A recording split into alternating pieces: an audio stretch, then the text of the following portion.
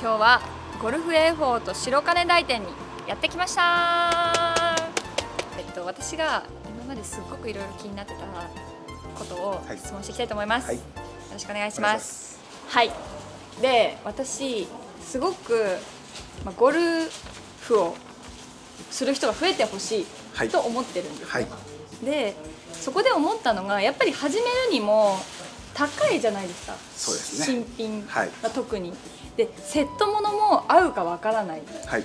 ていうのもあってゴルフを始める人が新品を持って合わないのもあれだしでハーフセット買ってなんかどうやって使っていいかもわからないっていうことが多いと思うんで中古屋さんに行けばなんかある程度いい値段でいろいろ揃うんじゃないかって。そうですね。いうのがあはいりましてはい。ゴルフエフォートで安い。まずドライバーからですかね。はい。ドライバーをまず教えていただきたいなと思います。一番安いのはちなみにいくらとかで一番安いのははい。こういう3800円。おしかもそんなに古くは古くないですよね。レガシーのブラックなんとかレガシーブラックというレガシーブラックドライバー9.5度はい3800円。しかも綺麗ですよ全然。すごく。そんなに傷もたくさんあるわけではない。へこんでもない。これは使った後ですが。そうです。へこんでるものはないですね。そうです。基本は売りませんので。あへこんでるもの売らないんですか？もちろん。えー、中古ってへこんでるものも売ってるんだと思ってた。へこ違うんだ。そうです。はい。えー、他にこうおすすめでこの値段で始める方におすすめっていうのってありますか？あとはやっぱりすごい人気のありましたこういうテーラーメイド SLDR とかが今7800おー。円。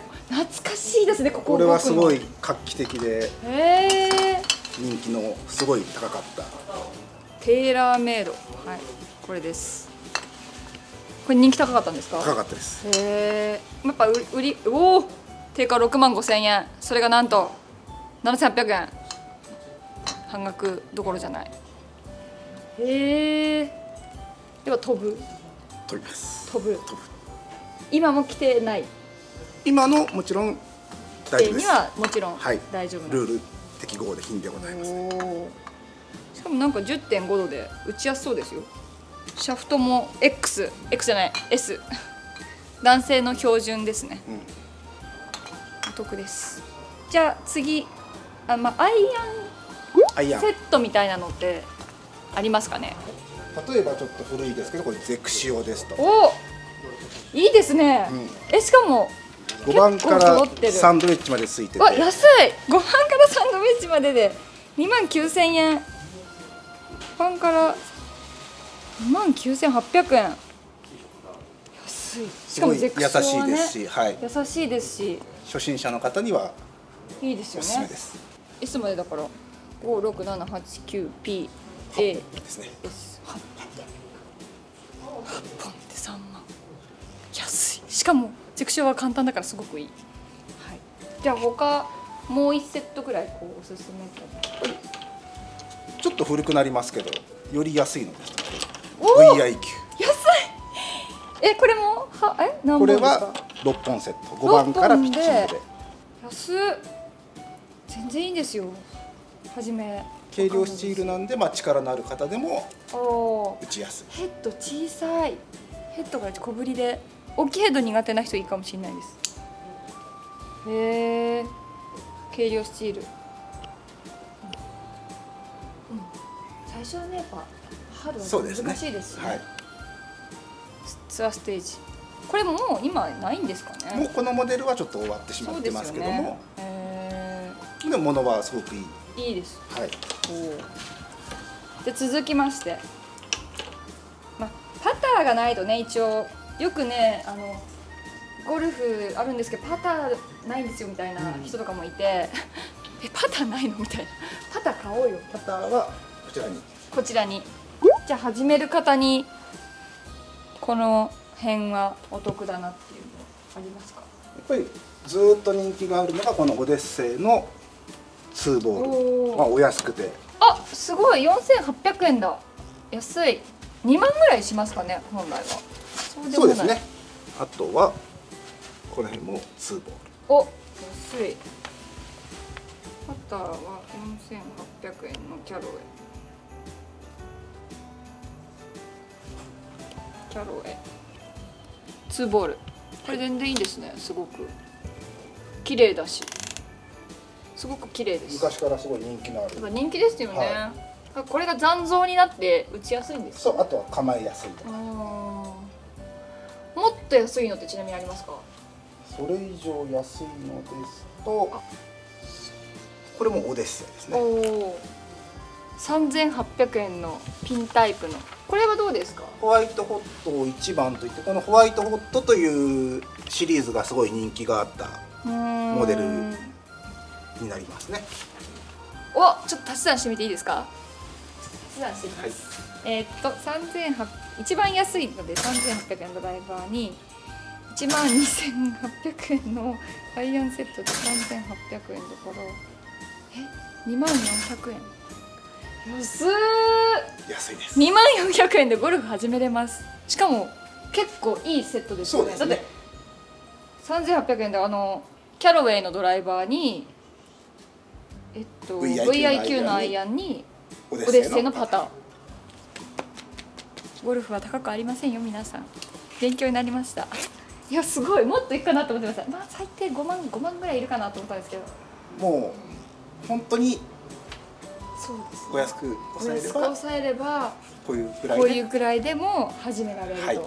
おおじゃあ次のね疑問をいきましょうまあさっきちょっと安いクラブというか、初心者向けにこれだったら始めれるのにはい。っていうクラブを聞いたので、次は逆にめちゃくちゃ高いはい。もうお店に置いてある一番高いクラブをはい。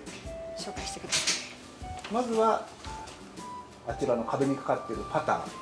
パターってたななんでそんな高くなるんですかパターは？ここツアーものといってこう市販にはないものがパターは一番多く出回るので結構値の張るものも多くなってしまう。まあ、その中でもスコッティ・キャメロンいやよく聞きますよそれも。のこの上2本はぶっ飛んでますね。ぶっ飛んで桁が桁がちょっと。86万8000円でございます。謎です。えもう理理由はこれはスコッティ・キャメロンですよね？そうです理由は？理由は？何ですかこれの？この値段をついちゃった理由。一番はこの GSS という素材がお値段のこの価値を上げているえっとそれはどどどこに使われてる素材なヘッド全体の？ヘッド全体が GSS そうです、ジャーマンステンレススチールという。ジャーマンステンレススチールっていうのが高い。そうですなんか誰かが使ってたとかではないんですか？そういうプロが実際実使用っていうのはなかなか出にくい。よくねなんかタイガー・ウッズ使ってたやつそうですね。そういうのが出るともうさらに桁があ桁が。増えてしまったり。うん100万ですよね、はい。じゃあこの2本目。これ81万はい。8000円、これも GSS というヘッド。ヘッドの素材でできてるので値段も高くなってます。ちなみになんですけど、私とかが打ってもうわこのヘッドやばいわってなります？パターはドライバーとかと比べると分かりにくいかもしれないですけど打ち比べると柔らかいですと。かそういう違いが実感はできると思い打ます。感の柔らかさみたいな、はい、あー。いやーどういった方が買われるんですかね？まあ実使用もいらっしゃいますけどコレクターの方もあスコッティ・キャメロンは多く、はい、そういうファンの方が多いので。ーなるほどね、はい。まあ、このトップ2がもう一番高い1そうですね。ね。今お店の中では、じゃあ他に、はい。えーっとなんかこう他のクラブで結構このクラブはしますよみたいなのはありますか？あとは XG というはいブランドのアイアンセットは高くなすすごいですね。なんかでもさっき1本で80万だったから麻痺しちゃってて、2 4 6 7本で60万だとうん。安くはないけど。そうですね。みたいな1本で考えると。えー、これはままあ私もよくあの聞いてはいるんですがそのた高い理由っていうのは何なんですかね？やっぱりあのこの PXG のオーナーさんがはい。こだわっていい一番いい素材。素材。一番打ちやすく。あ一番こうもうお値段はいとわずにいいものを作ったっていう。ー感じ。はい。ちなみにこれは中古ですか？これは中古になります。中古でこの値段ってことは新品はもっと高いんですか？新品で買われるともう少し高くなると。まあ状態が綺麗なのでそんなに落ちてはいないですけども。この方は買ったけども合わなかったんですかね？そうだと思いますね。だってすごい綺麗ですよ。打ったのかなぐらい。そうですね。えちょっとえ打った痕跡もほぼほぼないぐらい。へえで次。ドライバーもねきっと高いのがあると思うんでどれぐらいの値段があるのか。じゃじゃんお店にあるドライバーで今一番お値段が高いのはこちら。何ですかこれは？これはエスティバンという。エスティバン？見たことないです。ジクラブの、ジクラブ？はい、これの高い理由はやっぱ素材ですか？素材ですとかやっぱり飛距離性能が高い。やっぱ飛ぶ。飛ぶ。あとはまあ特徴がこういう。あーすごい。なんか柄が。柄が。えこれは飛ぶ秘訣じゃなくて柄ですか？これはも柄う特徴ですね。ははい。すごいですね。今あのパッと見ただけでセットで揃えようとしたら今100万楽勝に超えて今100 200万近くに。さっきの倍で倍で倍そうでないですね。一桁。2桁ぐらい。二桁ぐらい買っちゃう。2桁ぐらい変わりましたね、おなんかまた見たことのない。これもジャンカルロというやっぱり大手ブランドではなくてジクラブ。と呼ばれてるやっあぱり飛びの特化したークラブになりこれますね。ななんなんですかこのなんか。これはまあウエイトがこうはまってるのでボールを上げやすくしたり逆に抑えたりっていう調整をできるようなドライバーになっておりますね、はい、ドライバーを調整。